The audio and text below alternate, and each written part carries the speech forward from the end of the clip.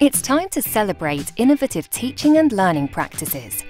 Teachers and schools engaged in European cooperation projects are shaping the future of education.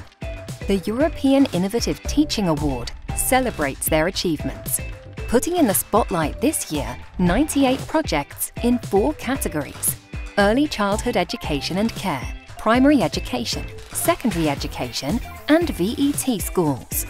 Built upon the Erasmus Plus programme, the award highlights mutual learning in the European education area.